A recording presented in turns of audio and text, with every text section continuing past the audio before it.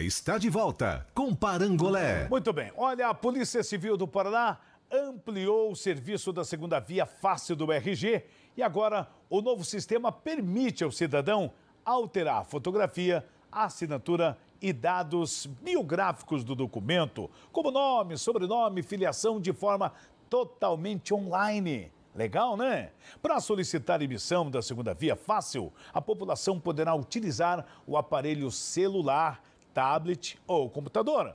O sistema está hospedado na página www.policiacivil.pr.gov.br, na aba Documentos. O serviço é intuitivo e apontará alterações que precisarão ser feitas caso os arquivos estejam fora do padrão. A solicitação de uma nova via do RG pode ser feita por pessoas que já possuam o documento no estado do Paraná. Recado para você que se liga aqui com a gente todas as manhãs, oficina do sorvete, que além de todo o amor com que faz os seus produtos, agora traz os seus sorvetes, né, com um toque ainda mais saudável. Os sorvetes trazem a vitamina D, que é responsável pela defesa do nosso organismo, entre outros benefícios, é claro.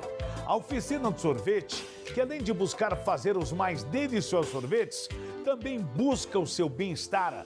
Oficina de sorvete, feito com todo o amor, de forma totalmente artesanal, sem gorduras trans e agora com vitamina D. Olha só, hein? Oficina de sorvete desde 1991. Vem em mim, Oficina do Sorvete. Após o período de processo, foram retomadas as atividades na cidade do Idoso, em Cascavel. E a galera voltou com a corda toda. O Rogério Antunes foi lá conferir e mostra pra gente agora. Aos 74 anos, a dona Lucila dá lição. Nada de ficar parada em casa. A rotina dela tem movimento. Faz bem por causa que a gente, como que a gente diz, né? A gente participa das, das atividades, conversa com as pessoas.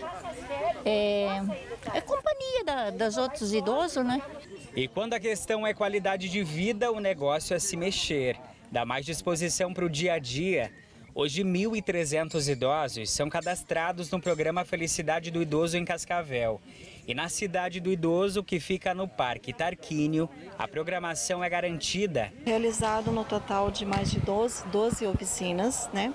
Entre essas oficinas nós temos violão, é, artes, dança, coral, é, fora atividade física, né? Que logo após eles chegarem com os ônibus, que os ônibus passam em todas as localidades do município, em várias localidades. Então eles chegam em torno de 9 horas, eles tomam o café, aí depois eles vão fazer atividade física e se deslocam para as oficinas que tem naquele período.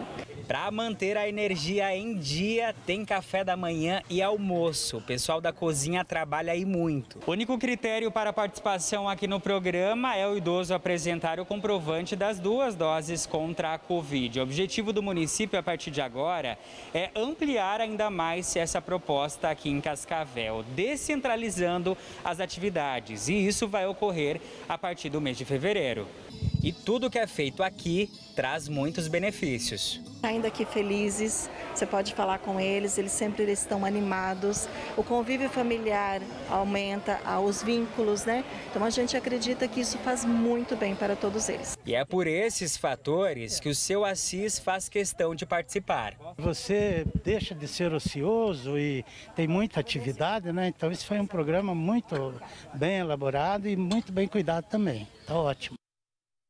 Meus futuros colegas aí, hein? Um abraço para todos vocês. Ê, potência! Isso aqui é feito tudo com muito amor. Isso aqui é feito com muito carinho. Pessoas que se dedicam também a dar essa atenção aos nossos idosos. Aí na sua cidade está acontecendo isso? Então, parabéns, porque aqui, além de estar acontecendo esse programa, estão recebendo os parabéns.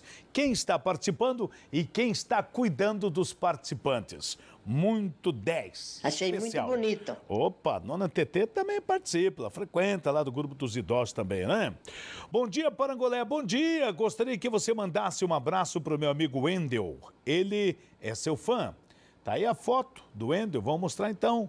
A Lia Silva, lá da cidade de Toledo, tá homenageando aí, mandando a foto do amigo. Valeu, Lia. Muito obrigado pelo carinho. A Lia também, a nossa telespectadora, moradora da cidade de Toledo. Bom dia. Sou Daniel do Alvorada. Estou com vocês todos os dias. Aqui na rua São Gabriel, esquina com a Padre José Maurício, tem uma boca de lobo aberta, tem risco de acidente. Alguém tem que cobrar para que algo seja feito, viu? Aí, o pessoal resolveu hoje fazer imagem para denunciar mesmo, né? Tem mais um videozinho aí? Tem mais um videozinho? Ah, não, acho que é esse o vídeo, né, que vocês acabaram de mostrar. É o do Daniel. Olha que fofura aqui, ó. Bom dia, Parangolé. Manda um abraço aqui, ó, pro Santa Felicidade. Me chamo Alex e o bebê da foto é o Gabriel. Gabriel é nome de anjo. Tá aí, ó. Anjo Gabriel. Ó que coisa mais bonita essa criança. Eu, eu, eu nunca tive uma foto dessa. Um abraço para vocês e a gente volta amanhã com mais uma edição do Primeira Hora. Felicidades a todos. Tchau e um abraço.